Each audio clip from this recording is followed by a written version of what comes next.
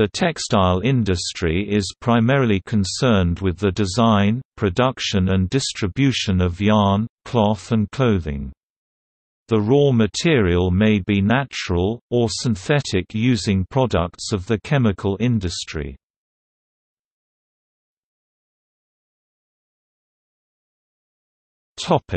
Industry process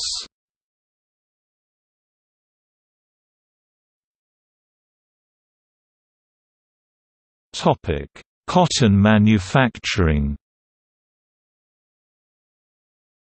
Cotton is the world's most important natural fiber. In the year 2007, the global yield was 25 million tons from 35 million hectares cultivated in more than 50 countries. There are five stages Cultivating and harvesting Preparatory processes. Spinning — giving yarn. Weaving — giving fabrics. Finishing — giving textiles.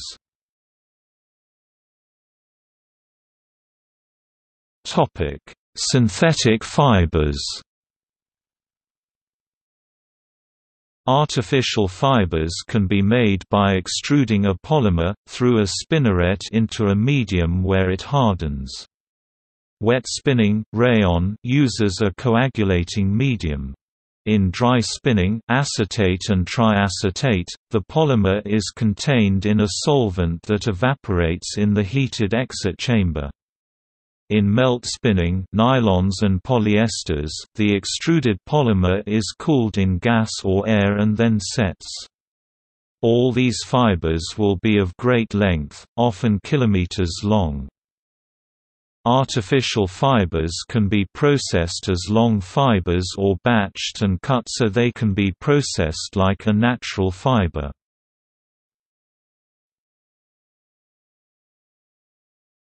Topic: Natural fibers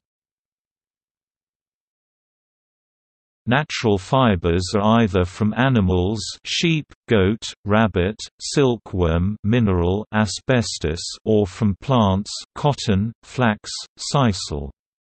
These vegetable fibers can come from the seed cotton, the stem known as bast fibers, flax, hemp, jute or the leaf sisal. Without exception, many processes are needed before a clean even staple is obtained each with a specific name. With the exception of silk, each of these fibers is short, being only centimeters in length, and each has a rough surface that enables it to bond with similar staples.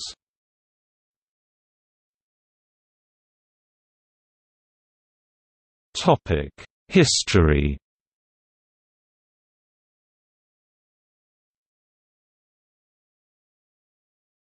Topic: Cottage stage. There are some indications that weaving was already known in the Paleolithic. An indistinct textile impression has been found at Pavlov, Moravia. Neolithic textiles were found in pile dwellings excavations in Switzerland and at El Fayum, Egypt at a site which dates to about 5000 BC. In Roman times, wool, linen and leather clothed the European population, and silk, imported along the Silk Road from China, was an extravagant luxury. The use of flax fiber in the manufacturing of cloth in northern Europe dates back to Neolithic times. During the late medieval period, cotton began to be imported into northern Europe without any knowledge of what it came from, other than that it was a plant. Noting its similarities to wool, people in the region could only imagine that cotton must be produced by plant-born sheep.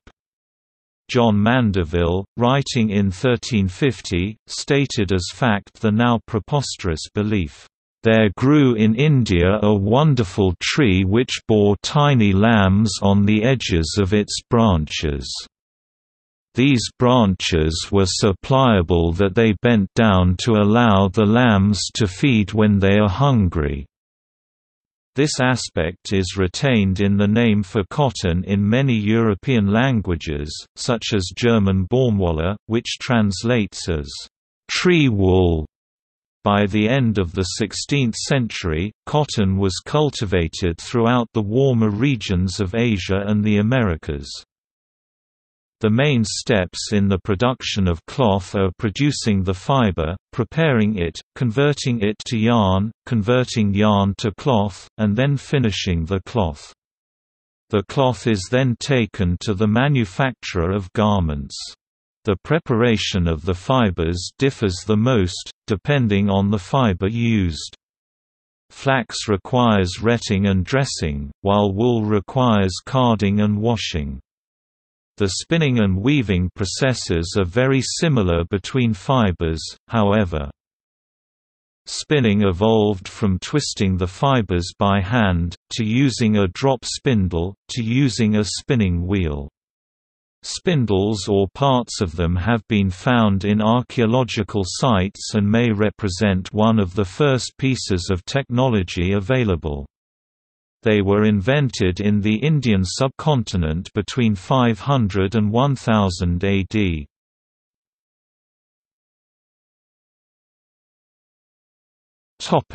Mughal Empire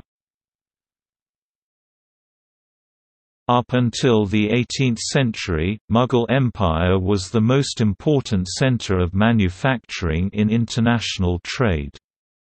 Up until 1750, India produced about 25% of the world's industrial output.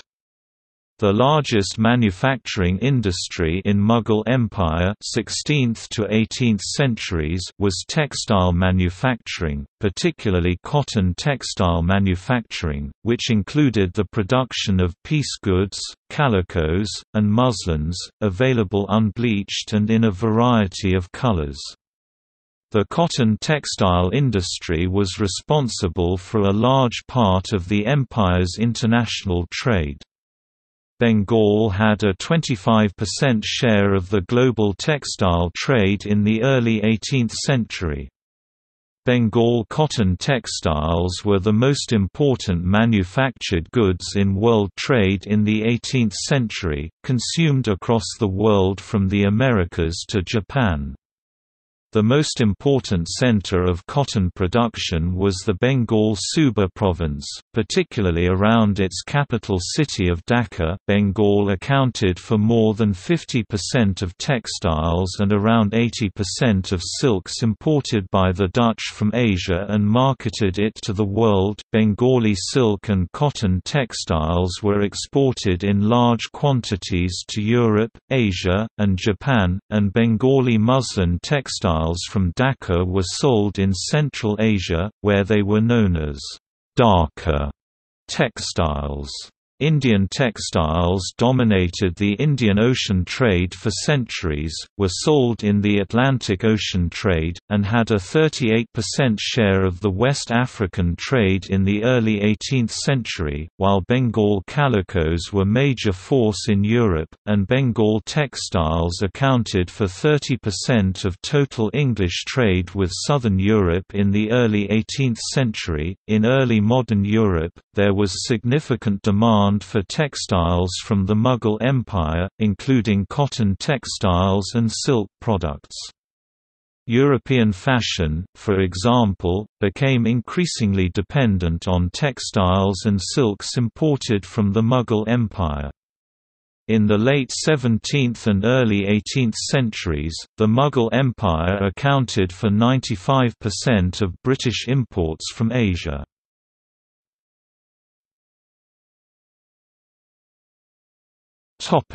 Britain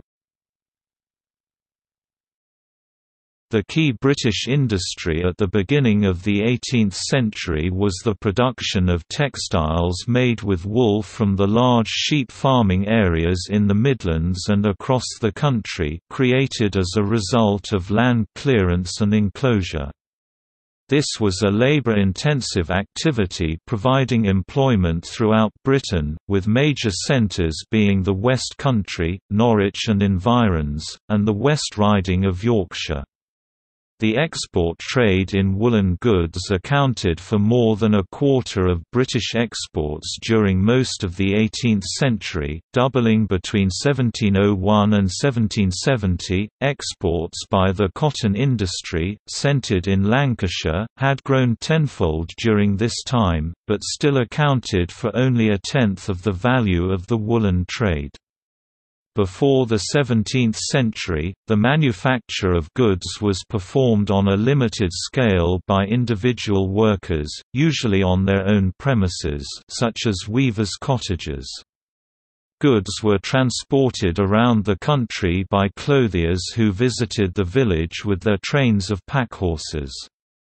Some of the cloth was made into clothes for people living in the same area, and a large amount of cloth was exported. River navigations were constructed, and some contour following canals. In the early 18th century, artisans were inventing ways to become more productive. Silk, wool, fustian, and linen were being eclipsed by cotton, which was becoming the most important textile. This set the foundations for the changes.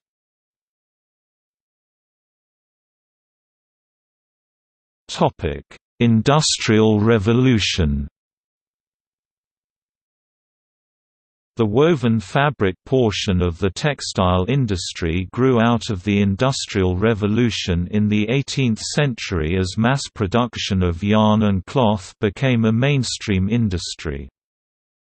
In 1734 in Bury, Lancashire John Kay invented the flying shuttle—one of the first of a series of inventions associated with the cotton woven fabric industry. The flying shuttle increased the width of cotton cloth and speed of production of a single weaver at a loom. Resistance by workers to the perceived threat to jobs delayed the widespread introduction of this technology, even though the higher rate of production generated an increased demand for spun cotton. In 1761, the Duke of Bridgewater's canal connected Manchester to the coal fields of Worsley and in 1762, Matthew Boulton opened the Soho Foundry Engineering Works in Handsworth, Birmingham. His partnership with Scottish engineer James Watt resulted, in 1775, in the commercial production of the more efficient Watt steam engine which used a separate condenser. In 1764, James Hargreaves is credited as inventor of the spinning jenny which multiplied the spun thread production capacity of a single worker—initially eightfold and subsequently much further. Others credit the invention to Thomas Hayes. Industrial unrest and a failure to patent the invention until 1770 forced Hargreaves from Blackburn, but his lack of protection of the idea allowed the concept to be exploited by others. As a result, there were over 20,000 spinning jennies in use by the time of his death. Also in 1764, Thorpe Mill, the first water-powered cotton mill in the world was constructed at Royton, Lancashire, and was used for carding cotton.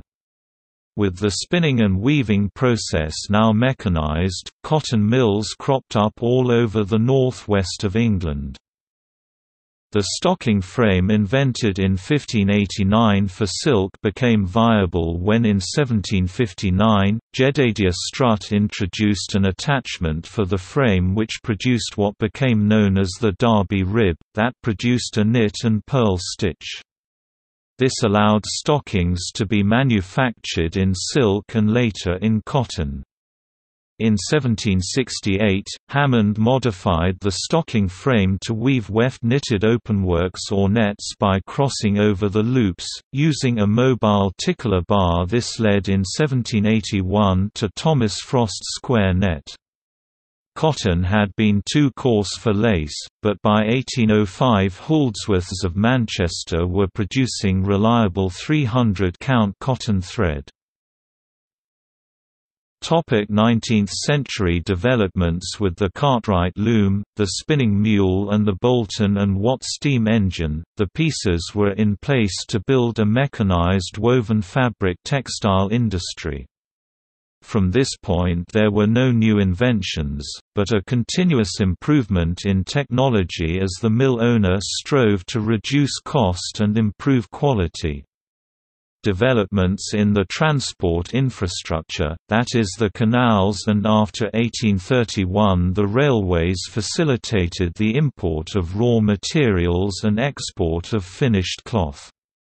Firstly, the use of water power to drive mills was supplemented by steam-driven water pumps, and then superseded completely by the steam engines.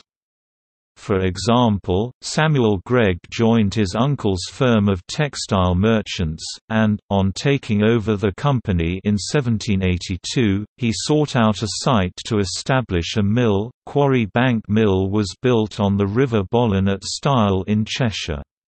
It was initially powered by a water wheel, but installed steam engines in 1810. Quarry Bank Mill in Cheshire still exists as a well-preserved museum, having been in use from its construction in 1784 until 1959. It also illustrates how the mill owners exploited child labour, taking orphans from nearby Manchester to work the cotton. It shows that these children were housed, clothed, fed and provided with some education. In 1830, the average power of a mill engine was 48 horsepower, but Quarry Bank Mill installed a new 100 horsepower water wheel. William Fairbairn addressed the problem of line shafting and was responsible for improving the efficiency of the mill.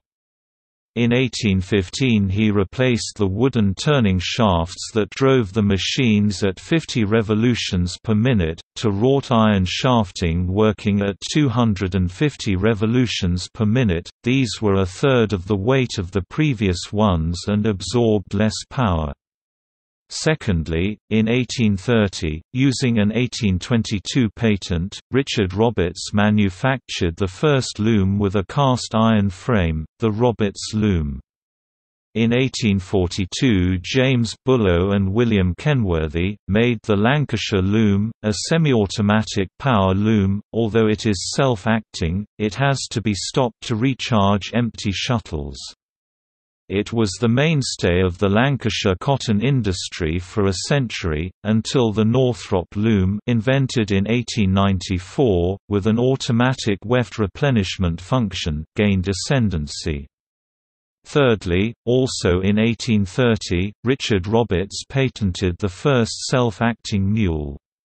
Stalybridge mule spinners' strike was in 1824. This stimulated research into the problem of applying power to the winding stroke of the mule. The draw while spinning had been assisted by power, but the push of the wind had been done manually by the spinner. The mule could be operated by semi-skilled labor. Before 1830, the spinner would operate a partially powered mule with a maximum of 400 spindles. After, self acting mules with up to 1300 spindles could be built.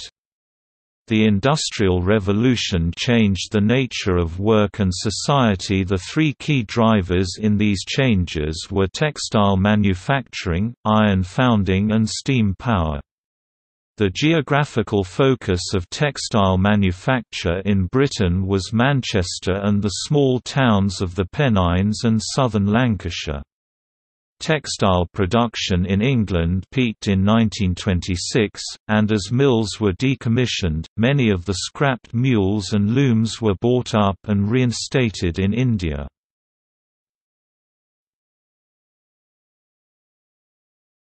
Topic: 20th century Major changes came to the textile industry during the 20th century, with continuing technological innovations in machinery, synthetic fiber, logistics, and globalization of the business. The business model that had dominated the industry for centuries was to change radically. Cotton and wool producers were not the only source for fibers, as chemical companies created new synthetic fibers that had superior qualities for many uses, such as rayon, invented in 1910, and DuPont's nylon, invented in 1935 as an inexpensive silk substitute, and used for products ranging from women's stockings to toothbrushes and military parachutes. The variety of synthetic fibers used in manufacturing fiber grew steadily throughout the 20th century. In the 1920s, the computer was invented. In the 1940s, acetate, modacrylic, metal fibers, and saran were developed. Acrylic, polyester, and spandex were introduced in the 1950s.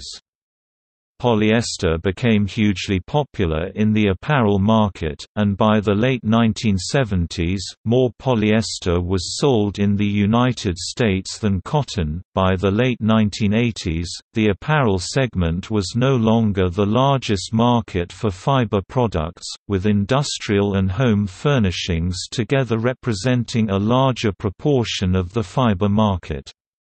Industry integration and global manufacturing led to many small firms closing for good during the 1970s and 1980s in the United States. During those decades, 95% of the looms in North Carolina, South Carolina, and Georgia shut down, and Alabama and Virginia also saw many factories close.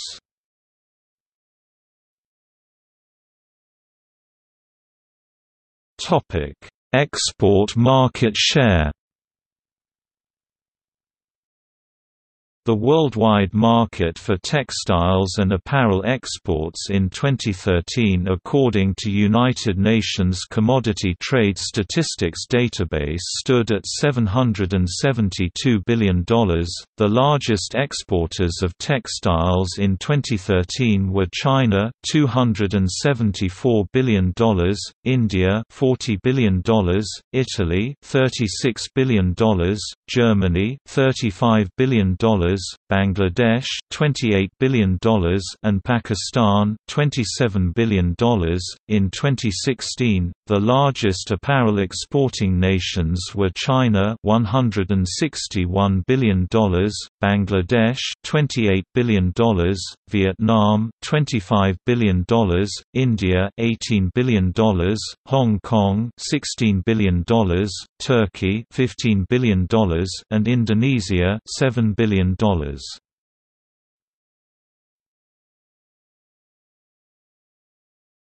Topic: Commerce and regulation.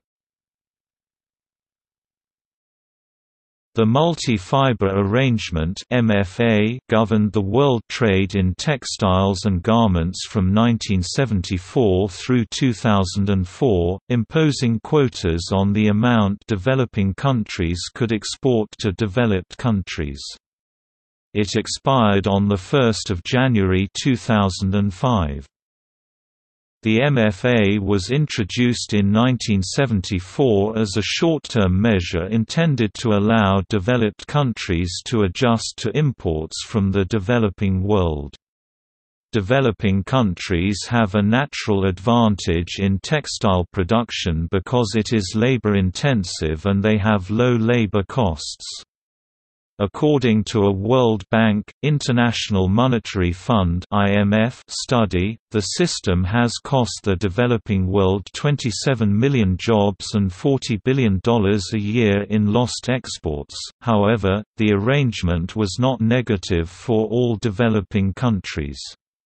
For example, the European Union (EU) imposed no restrictions or duties on imports from the very poor countries, such as Bangladesh, leading to a massive expansion of the industry there. At the General Agreement on Tariffs and Trade GATT Uruguay round, it was decided to bring the textile trade under the jurisdiction of the World Trade Organization WTO. The WTO agreement on textiles and clothing provided for the gradual dismantling of the quotas that existed under the MFA. This process was completed on 1 January 2005. However, large tariffs remain in place on many textile products. Bangladesh was expected to suffer the most from the ending of the MFA, as it was expected to face more competition, particularly from China. However, this was not the case. It turns out that even in the face of other economic giants, Bangladesh's labor is cheaper than anywhere else in the world. While some smaller factories were documented making pay cuts and layoffs, most downsizing was essentially speculative. The orders for goods kept coming even after the MFA expired. In fact, Bangladesh's exports increased in value by about $500 million in 2006.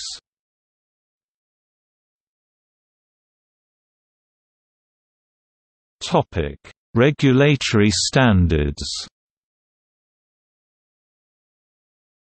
For textiles, like for many other products, there are certain national and international standards and regulations that need to be complied with to ensure quality, safety and sustainability.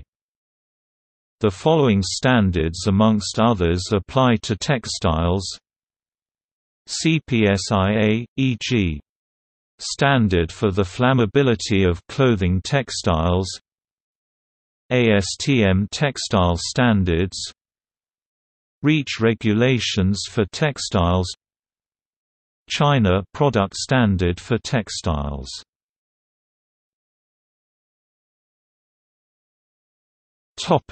See also List of textile fibers Textile Textile industry in Salem equals equals notes